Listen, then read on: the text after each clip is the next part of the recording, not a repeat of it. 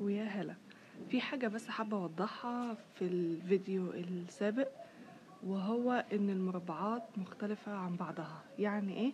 يعني مربع ال interlock غير مربع ال mitered square غير مربع ال corner to corner. يعني إيه الكلام ده؟ هقولك حالا. مربع ال interlock ده مربع عادي زي مربعات التونسي اللي إحنا بنعملها. ولكن لما بيجي يتشبط مع مربع تاني بيكون هو مربع الانترلك اللي أنا بتكلم عليه. إن شاء الله هناخده في فيديوهات تانية. مربع المتر سكوير اللي إحنا اشتغلناه الفيديو السابق. نهينا عن نوع الغرزة ولكن هو ده المربع المتري. كمان مربع من الزاوية للزاوية.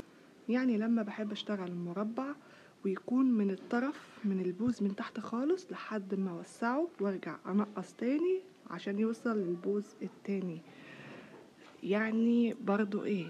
يعني أما أحب أشتغل شال مثلث المربع من الزاوية للزاوية هو ده اللي أشتغل بيه الشال بتاعي.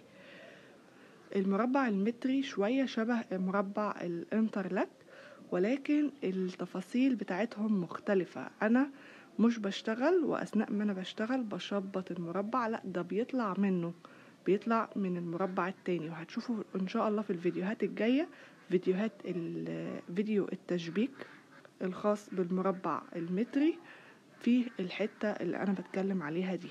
ولكن الفيديو ده بس توضيح للمربعات وإيه الفروق ما بينها وكلهم على فكرة كروشيه تونسي.